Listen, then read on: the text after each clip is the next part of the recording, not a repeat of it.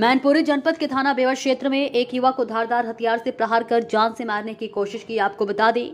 थाना बेवर क्षेत्र के ग्राम मानपुर हरी निवासी रज्जाक अली और रक्षपाल शाकिया निवासी ग्राम पटिया के बीच खेत की नापतोल को लेकर कहा सुनी हो गई, जिसको लेकर एक दिन पूर्व लेखपाल द्वारा खेत की पैमाइश भी करा दी गई थी। वह समय भी दोनों के बीच विवाद हो गया था।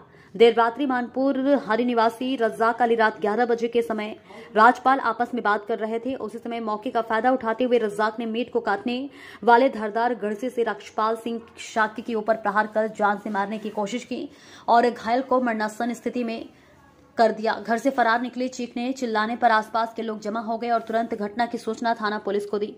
घटना की सूचना पर पहुँची पुलिस ने घायल रक्षपाल को सीएससी बेवर भेजा, जहाँ से उसकी गंभीर स्थिति को देखते हुए चिकित्सकों ने घायल को जिला अस्पताल के लिए रेफर कर दिया और पुलिस ने घायल के परिवार की तरफ़ से दी गई तहरीर के आधार पर मामले की जाँच पड़ताल शुरू कर दी, लेकिन अभी तक घायल की स्थिति गंभीर बनी हुई है।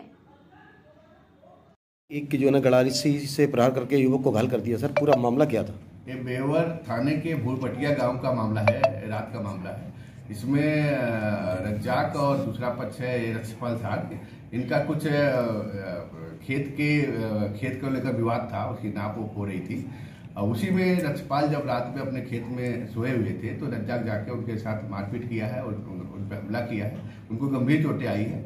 इसमें तत्काल हत्या के प्रयास का मुकदमा दर्ज किया गया है और रक्षपाल की गिरफ्तारी का सॉरी इसमें रज्जाक रज्जाक जो अभियुक्त है उसकी गिरफ्तारी प्रयास किया से काट के सर हाँ उसमें जो जिससे वो घायल हुआ है उसमें एक बाका होता है बाका से शरीर पे चोटें आई है गंभीर चोटें हैं इसीलिए गंभीर धाराओं में मुकदमा लिखा रज्जाक का पूर्व आपराधिक इतिहास कुछ रज्जाक का पूरा आपराधिक इतिहास नहीं है। इनका आपस में खेत है, जिसके लेके नापोक वगैरह हुई थी। उसी का दिन में विवाद था और रात में रज्जाक ने इस तरह से उनके ऊपर हमला किया है।